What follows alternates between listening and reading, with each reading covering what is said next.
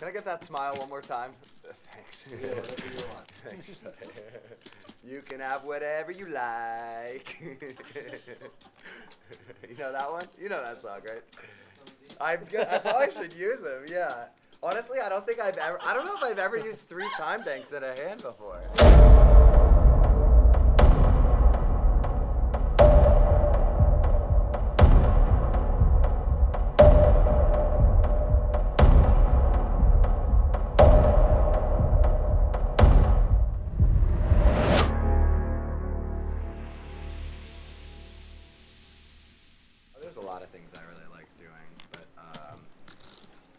like the primary purpose of it would be exercise, you know, like hiking. Butt moves over here, hiking, Nick. Things like that. Like I'm, I'm, not doing it for exercise for some while, but I do love doing other things. But no, I've always been content just like going to the gym too. I just really enjoy it.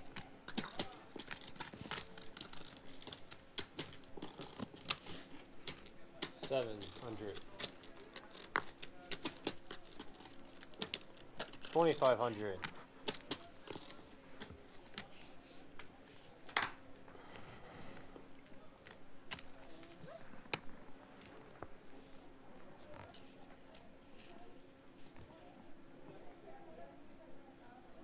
Raise it up. Sixty-five hundred.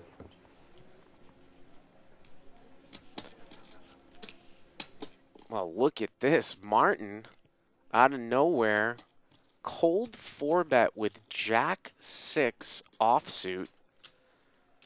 Now, if you've been with us all night, we saw Martin three bet Garrett's cutoff open about two hours ago with 9 4 suited against King 10. But oh. here, a cold four bet with Jack six offsuit from the middle blind. Garrett's going to continue with two black nines. Here we go 14 1. 10 6 7 with a couple of diamonds. So Martin has flopped a piece of it though, but Garrett here with a gutter and second pair to the board.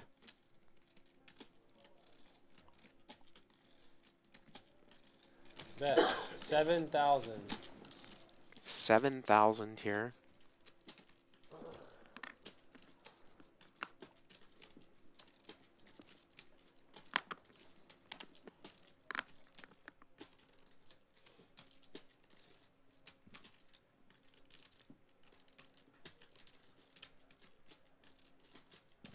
Call.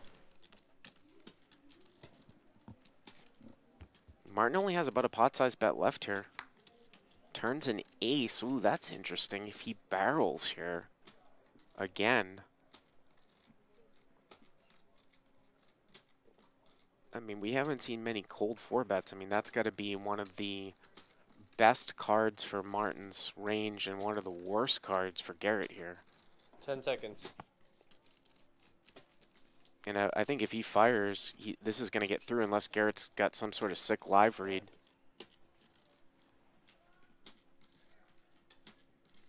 Ten thousand. Ten thousand. Ten into twenty-eight. Garrett does have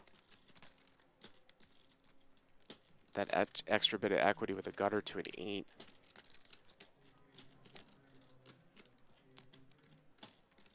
10 seconds.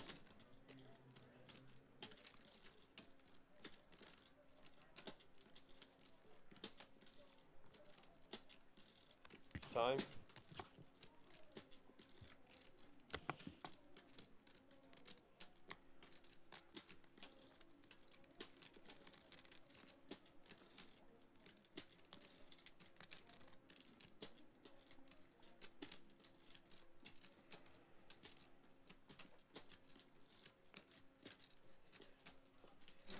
And he makes the call. So he's going to play a little game of chicken here, too, with some equity. This is going to be interesting to see what happens on this river. The river brings a backdoor flush in. 48,000 in the pot.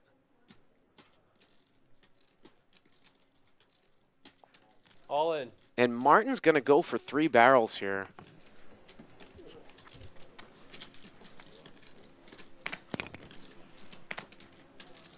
And Garrett's like, what can I beat? This sort of reminds me of that hand from way back when. I mean, not the same run out, but that hand with uh, Phil Ivey and Tom Dwan.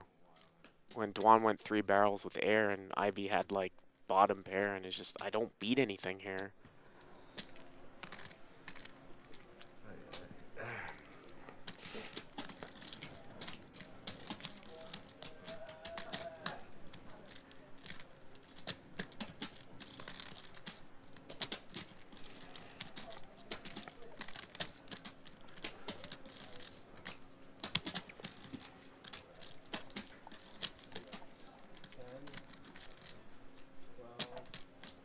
I mean, this would be call of the century. This would be similar to that Gall versus Art call with the 3-4 offsuit against the flush draw from about six months ago. I got it. Thanks. I don't even know what the fuck I was doing with that. Three and a half to one.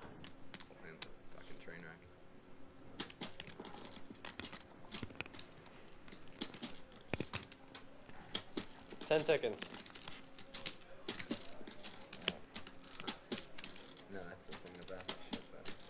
Gonna put, looks like he's gonna put a time extension out here. I mean, obviously he thinks something's up. and I go back to that hand that yeah that Martin played against Lynn with the 7-5. Like, do you accidentally lose sometimes here? Remember when Lynn folded jacks against Martin when he sort of made a weird bet with 7-5 on the river and Lynn folded the best hand? Do you ever lose? Here's so much. Martin, my hand is so incredibly fucking bad, dude. If you just like, let's say you just like are freaking out with like Queen Jack or whatever, you have the best hand for sure. Like you're about to print another twenty thousand with the fucking Queen Jack.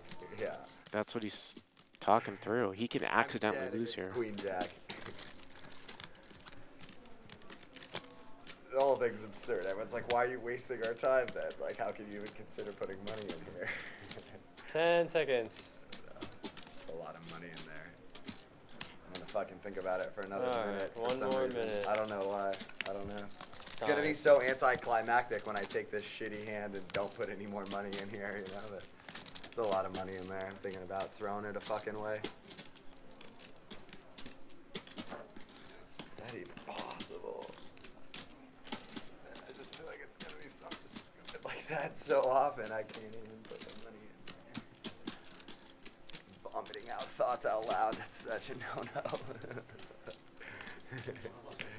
What's that? Yeah. I know I haven't done this in a while, huh? I don't know why I'm fucking vomiting out all these thoughts out loud today. It's just such a welcoming group, you know? I just feel like I don't know. That'd be crazy. How can I even consider?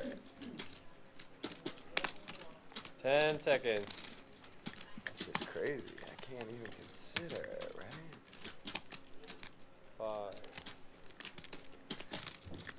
Uh, I'm gonna think Alright, about it one another more minute. I don't know why. One more minute. Fucking- I don't know why. Sorry, guys. Last minute, I swear.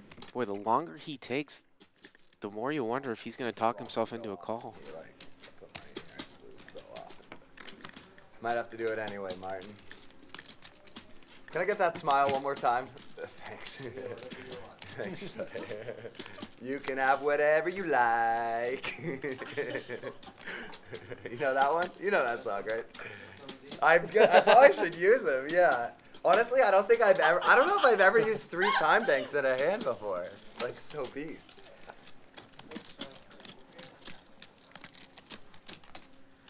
Uh, Ten seconds. Alright, I got it.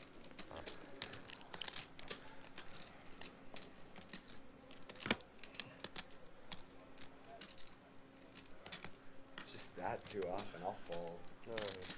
Oh, He's God, out. really? And he's announced fold, but I mean, you got to give credit to his instincts. Boy, he came pretty close there. Came pretty close there. Martin, was it you earlier? It was like, what am I even doing this hand? That's what I feel like every fucking street of this stupid fucking hand. Well done, good hand either way. Sorry guys, that took way too long. By the way, if you had clean decks, you were good. Really? You just had like a 10? If you had a 10, you were good. I didn't have a 10. really? You swear?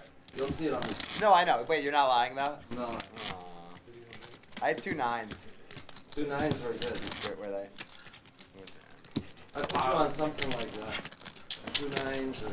Oh, buns on. I mean, that's. I, I- I think the issue for Garrett there in that hand is that he, I think he thinks he accidentally loses too often to hero call. I mean, if, if you're thinking about hero calling with a hand that you're going to lose to a portion of your opponent's bluffing range, then it's problematic. Well, your instincts were, were right, huh? Raise it up. Is that illegal? 600 now. I mean, it took 10 minutes. He was going to call it nothing. Fucking A, man. Ugh, that one's gonna break me. Great play, dude.